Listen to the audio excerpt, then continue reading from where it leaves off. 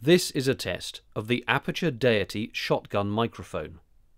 I'm recording into a Canon XF200 camcorder.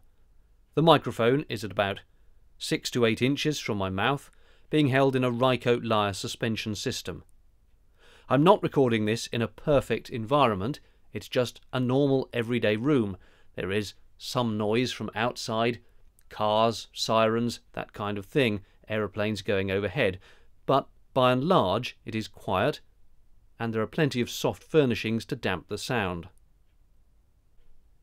The microphone is a relatively short shotgun that requires 48 volts phantom powering from the camcorder you plug it into, as many professional microphones do.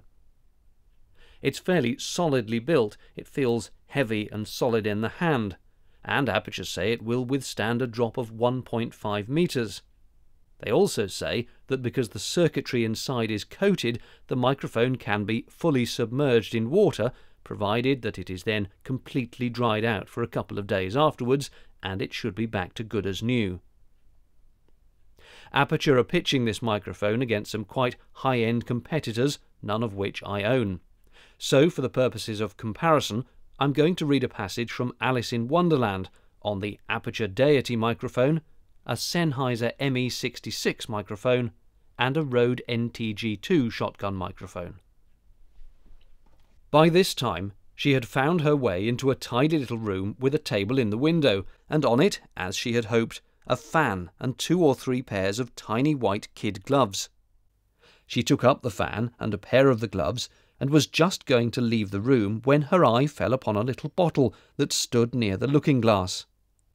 There was no label this time with the words Drink Me, but nevertheless she uncorked it and put it to her lips.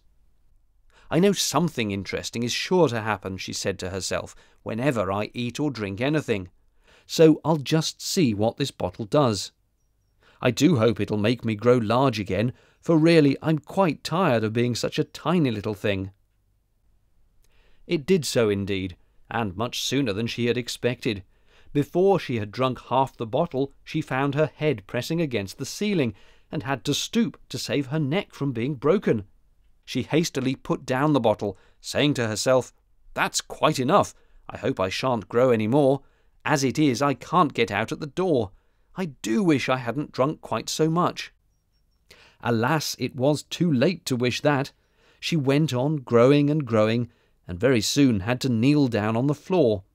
In another minute there was not even room for this, and she tried the effect of lying down with one elbow against the door and the other arm curled around her head.